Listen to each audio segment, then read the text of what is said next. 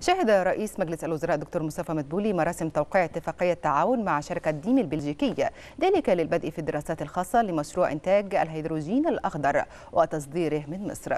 أكد مدبولي أن التوقيع على هذه الاتفاقية يأتي في إطار تنفيذ استراتيجية الدولة التي تهدف إلى التوسع في مجالات الطاقة النظيفة والخضراء وزيادة مساهمة نسبة الطاقة المتجددة في مزيج الطاقة الكهربائية.